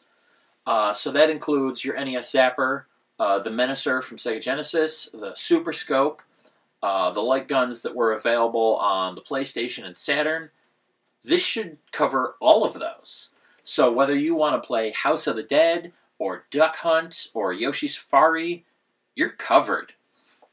You'll plug it into this, and then I don't know how they intend to the screen thing. It'll probably have some sort of receiver bar like the Wii did.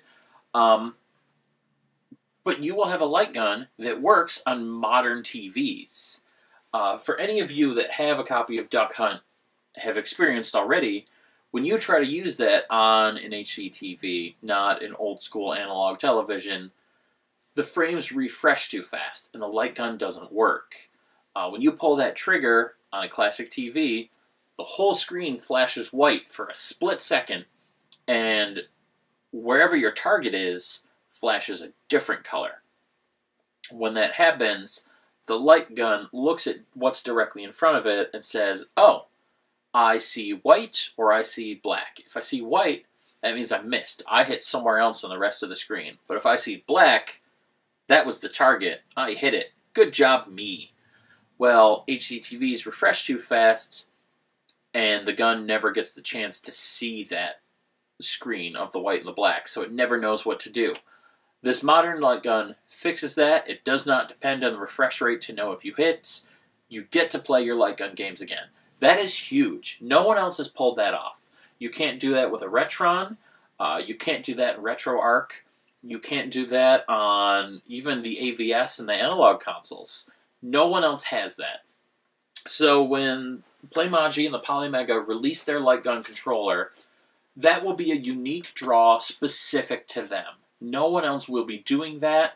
That will give them an edge. That's very important. They need that edge. They need a reason to set themselves a self when you're asking customers to spend $1,000 on your console, you got to give them a reason why. That will be a big one. Uh, likewise, as I mentioned before, we already know an Atari module is coming. Um, Atari partnered with them. They already announced the module. Pre-orders are not available yet, which is fine because they've not handled pre-orders well. Um, but we know it's coming. And what's really cool there is that Atari now also owns Atari Age, a website that indie homebrew developers would self-publish their games through Atari Age, and you could buy physical cartridges. A long, long time ago, in a galaxy far, far away, I reviewed Halo 2600, uh, which was a demake of Halo for the Atari. That was released through Atari Age. Um, so there's big potential there. When they release the Atari module, whatever they're going to call it, they 100% should have Atari working to scour through Atari Age, which again they own, find all the games that they published, and get the images of those games in that database. It should recognize all of those games as though they were official carts right off the bat. If they have that built in to where that functionality already exists, not only does it significantly increase the database of Atari games, but for indie collectors like me, which are the main demographic here, it gives them a way to play these games that they can't otherwise. Because again, other people aren't doing this. Um, I I know that I keep mentioning uh, like RetroArch, which is just all the emulators, but it's partnered with Retro Achievements, and that's people don't generally consider a game supported by RetroArch unless it's also supported by Retro Achievements. That's the appeal of using RetroArch is getting those achievements for your old games. Retro Achievements does not have them for a lot of games that aren't official releases. If it can't recognize the ROM, it doesn't know what achievements to assign to it. The same as how the database works here. It's all based based on that the mesh. Um, so if their Atari module has support for all those extra games, people can finally play those uh, officially, quote unquote. Um, that would be a big deal for collectors they would really be dropping balls. if they didn't do that. I definitely hope they do. Um, and now things that they haven't announced or said they were going to do, but they would really be just leaving money on the table if they don't. The big one is, as I've mentioned multiple times now, achievements. Um, Analog has not done achievements in theirs. Uh, um, who is it? Does the ABS Retrobit? Uh, did not have achievements in theirs. RetroArch does, but only for official titles. So, Polymega needs to also have achievements. They need to have a team internally that creates these achievements and releases them, and that's what's going to set them apart. Not the achievements, because RetroArch has them too. Having an internal team is what would set them apart. Because on RetroArch, right now, it's all fan driven. Any volunteer who knows how to use hex editors and basically learn how to flag a specific change in your save data that recognizes, hey, I did this one thing, pop the achievement. Uh, anyone can generate achievements and store them out there and add them to the set for the game.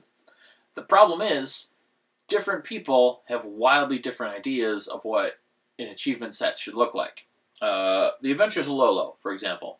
Great game, love a game. Uh, it's a puzzle game from my childhood that I've played many, many times and will play many again. The achievement set for that is pretty straightforward. Every every time you complete a world, you get an achievement. If you completed it without taking damage, you get a second achievement for that. Um, when you complete the whole game, you've gotten all the achievements. I think there's like one or two extra ones for completing a level and having, you know, three extra egg shots or whatever the case is. But they're all very straightforward. It's just part of beating the game. That's normal. However, other games are a little different. See, some of the people creating these achievements are nice way of saying idiots. Um, idiots. They think a game is only fun if you're torturing yourself and just being an absolute try-hard ass clown. Um, so, for example, Pokemon Red and Blue. If you want to get the achievements for those, you have to run a Nuzlocke. Uh, you have to, you know, challenge each gym trainer with none of your Pokemon leveled higher than the ones that gym trainer has by the time you finish the gym, which means at the start of it, you have to be a level or two under so you have room to level up as you battle. Uh, there's also, you know, ones where you have to catch certain Pokemon at certain points and just do things in a very specific way that makes the game not just challenging, but basically unfun. Uh, likewise, in The Legend of Zelda, you know, there's an infamous thing that people in the Zelda fan base community, whatever, know in the original game, you can technically get to Ganon without ever picking up the sword. Uh, you can skip the sword altogether, and you can kill enemies with sub weapons. It's it's a pain in the ass to do. No one in their right mind would ever do it. It's not fun.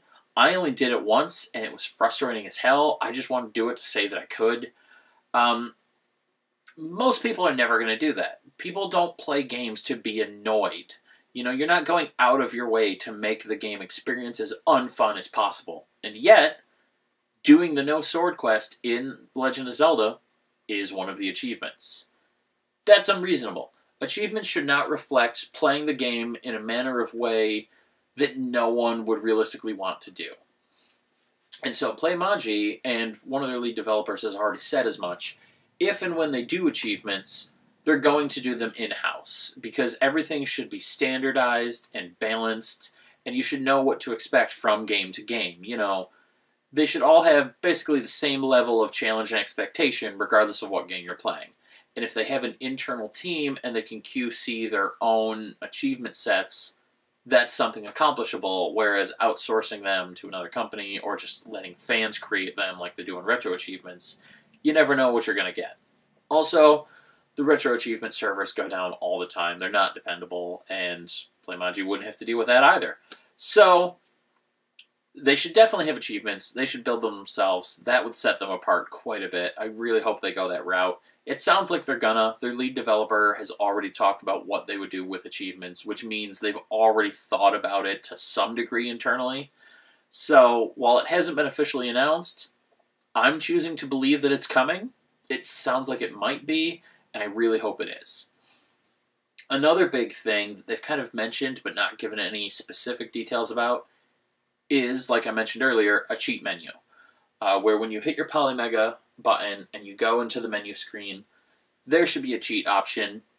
all the standard Game Genie or Game Shark codes that were available, you know, in the books, pre-installed on the Game Shark or pre-acknowledged for the Game Genie, those should be programmed in. because this already has a database it's matching to and it knows what game you're playing, it should know what cheats are available for that game and have them available to you. You shouldn't have to look them up, you shouldn't have to enter the codes. They should all be there and toggleable, and you just put in the ones you want and go at it. Um, and some other consoles already have this, so this wouldn't set them apart. This would just be playing catch up. Uh, the analog, for example, has that built in already. Uh, all their systems already have the cheat menus built in, so you can insert your Game Genie codes. For some games, some of the codes are already there. Uh, for others, you can save the codes after you enter them with the name of what they do, and then just toggle them on and off for future use. Playmaji should do the same. Um, like I said, it won't set them apart, but it'll at least catch them up to some of these other consoles, and then it it just makes the other consoles harder to justify. Like, yes, the analog consoles are FPGA. That's really cool. They'll support the indie stuff that this won't. But all the other advantages that they have, this also has, plus extra if they implement achievements and release the light gun. So they just they need to play catch up so that then they can shine the light on their other things to still pull themselves ahead. Uh, and lastly, um, well, not lastly, I've got a couple more, uh, but one that I really think would be a massive selling point. It would not only set them apart, but it would just absolutely blow away the customers and fans and really drive sales here.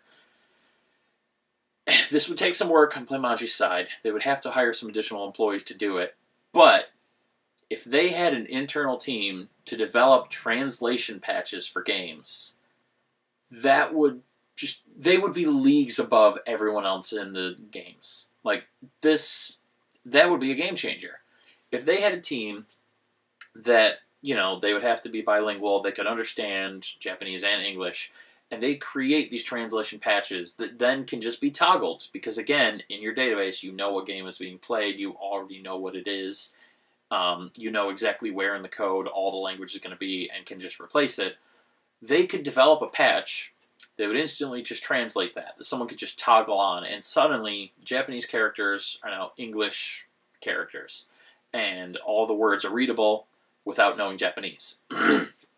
That's huge. A lot of collectors have gotten into collecting import games.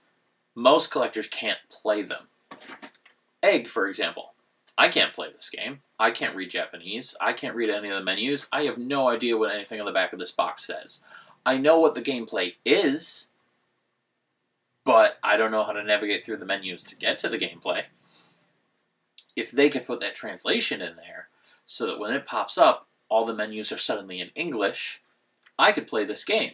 Because the Polymega ignores the region coding. Like, you can install any game from any region, it's fine. Uh, so I'm already halfway there as far as being able to play my Japanese games. I just need the Japanese to now be understandable in English. And that's what Playmaji should be doing. You've let people install the games, now give them a way to play them. That would set them apart like no one else has. No one else is doing anything like that. And this is a good time to do it. Uh, again, I work in IT, and AI is getting really good. They could put in an AI system that reads the text on the screen and translates it to English in real time. Or they could translate it all using AI ahead of time, generate the patch that way. They'd probably only need one or two employees just to manage the AI and save the actual patch file. Um, basically what I'm saying is there are ways to do this, and it probably wouldn't even be too hard if they did use AI tools to assist them, but it would set them apart and just they would be doing something that no one else is doing and gamers would kill for. So, if they're not looking into that already, they really need to be. That would be a huge advantage for this console that absolutely no one else is doing. If this had translations and all the games that you put in can just be played by you in English, even though they're originally only released in Japanese, that's massive. That's, you know, tens or hundreds of extra games for each console that it supports that we can now play that we never had access to before. You know, the entire Legend of the River King franchise didn't come out in English. Uh, Cho Aniki did not come out in English. A number of Final Fantasy games never came out in English. All of those games are now playable if they have that translation ability in the Polymega. People would clamor for that. These would be flying off shelves because now I can play all these games that I always missed. And this is the only way I can play them. That would be amazing. That they need to do. And then the last thing I will mention, and then I'll eventually shut up because this is a very long video, and I apologize, but I really did want to get in depth on everything in this console because it's an investment, but it's a big deal. Um, the last thing I want to bring up is there's definitely room for growth with the disk drive. Like I said, uh, it has decent support. It does the Sega Saturn, the Sega CD, Sony PlayStation, and the TurboGrafx CD as well as like the 32X CD, but that's just an extension of the Sega CD. Um, that's pretty good. You can install a lot of games. There's a lot of great stuff across those. The PlayStation, especially, is full of RPGs. It's a great console. Like, it does some good stuff. However, there's other consoles that it should really support that it currently doesn't. Uh, the Jaguar CD is not supported. Absolutely should be. There's no reason this couldn't handle that. Uh, likewise, the 3DO. You know, I don't know of many 3DO emulators out there, but I know the 3DO was a decent console that people liked. There are games out there for it that people would love to play. Um, this should support those.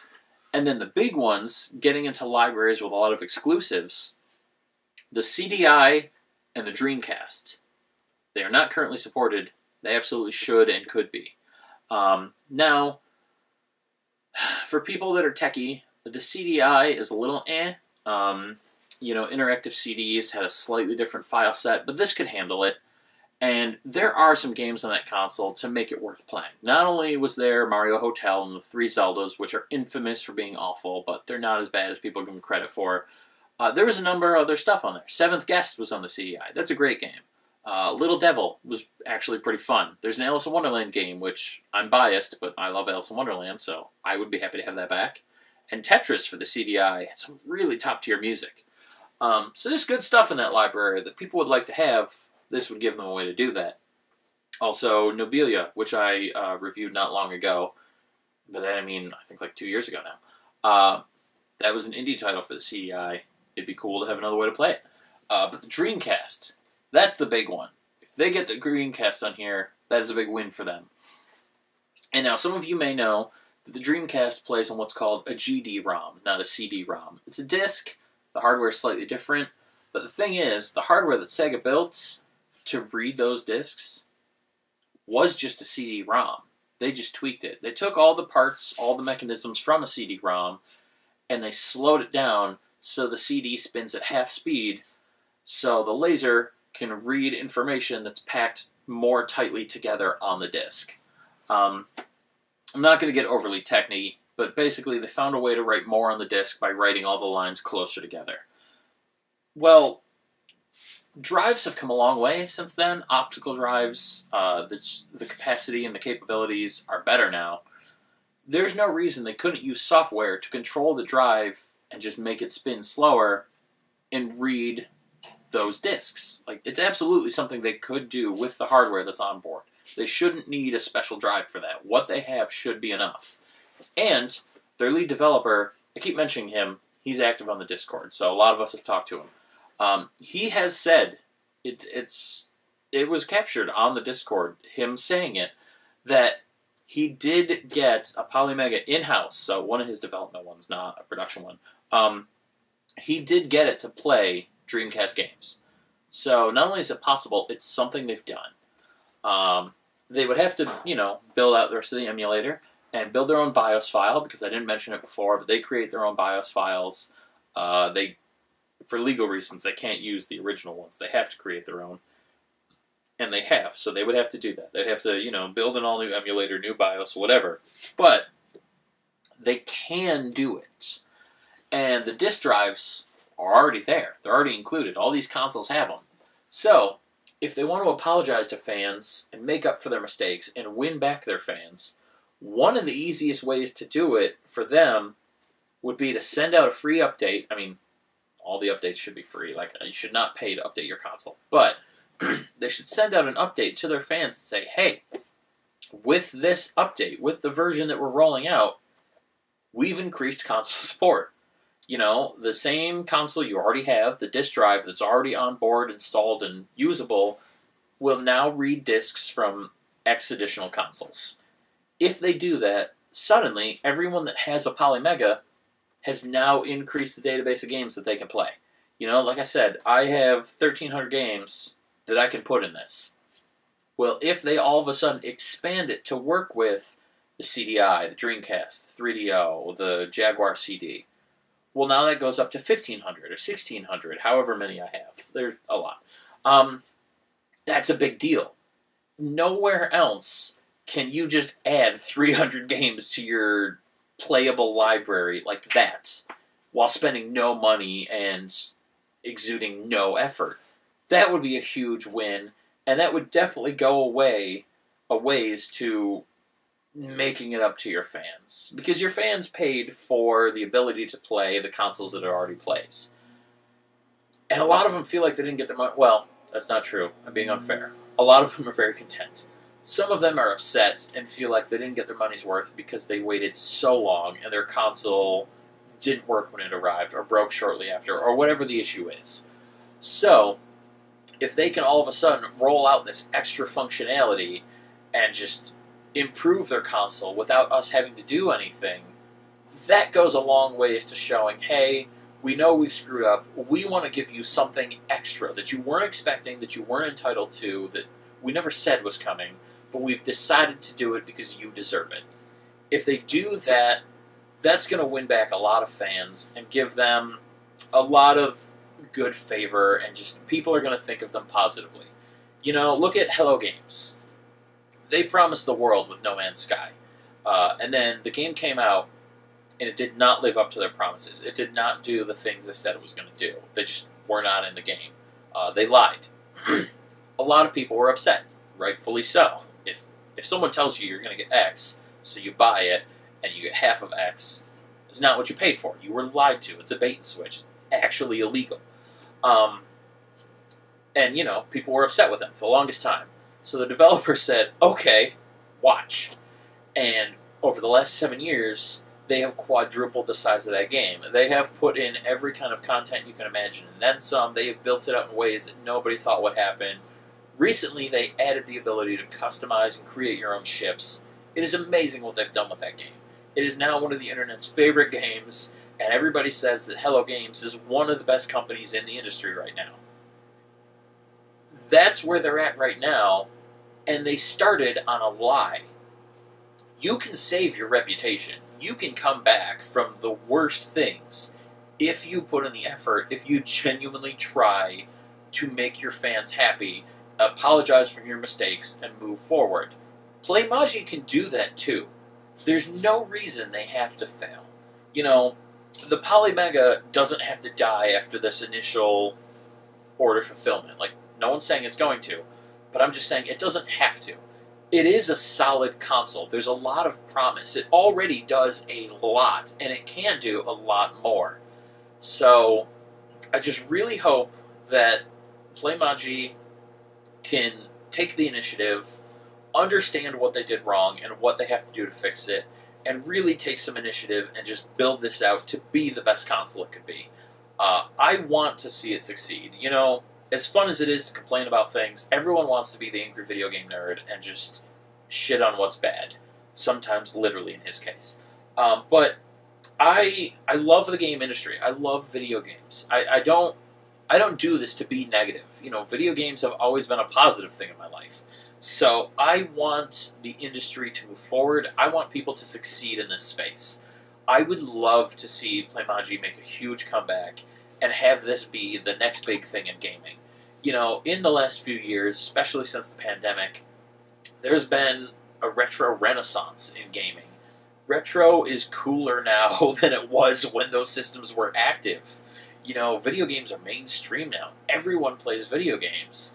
And in the last few years, everyone plays retro games.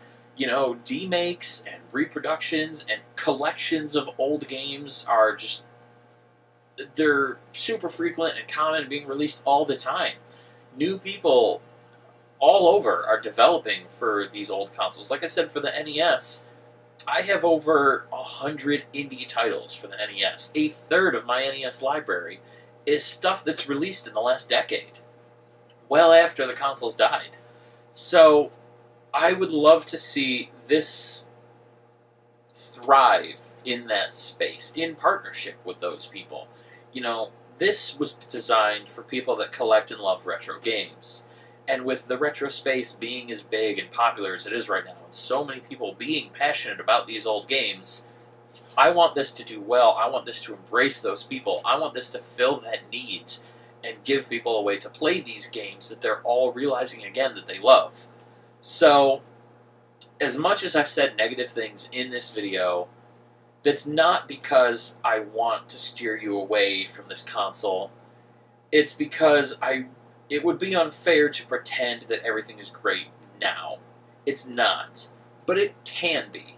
So if you take anything away from this, especially if you're someone at Playmaji and you're watching this for some reason, what you should take away is that the console is already good, but it absolutely can be great. This can be the go-to. Uh, people, this could dethrone analog. Like this could become the next big thing in retro gaming I know the owners of several game stores, and I would go in there and you know sing the praises of this console and pitch to them, "Hey, why don't you stock these? People could play half your store with one of these if you had them in stock. Sell these, push these at your store, like." And if these were in a store, I could see them selling. Like I just, I want these to thrive. They just, they're right there. They're just not quite over that hump, and that's what I want to see happen. I want these to take off two years from now, I want this video to have 100,000 views. Not because I want my channel to blow up, although that would be nice, but because everyone should be talking about this console. This should be the next big thing that everyone wants to learn about and talk about and get their hands on. Um, and I just, I don't know. I kind of hope I get to see that happen. I really think it has the promise and it could be that thing. So that's how I'm going to end this video right now, this is really good. If you have a big retro collection, especially if it's mostly official titles, this will let you play a lot of them, and you'll have a good time. The controllers are great, the UI is passable, the emulation is actually surprisingly well done considering it's all custom built in house. It's good. It will serve its need. It is fun. You will enjoy it. Take that how you will. Uh, but going forward, I really hope to hear more about this. I hope everyone starts talking about it. I hope they do some of the things I listed to take it from good to great. I want this to be the next big thing. I really hope it gets there. I think it could. And if and when it does, I won't even say I told you so. I'll just help celebrate it with everyone else because that will be really, really cool. Um, but now I've talked a lot. My voice and throat are hoarse. Um, I feel like I'm choking. So I'm to go. And now that this video is finally done, and the last two, three weeks that I've spent on it and planning it are over, uh, I'm to go play some video games. So, I'll see you guys later.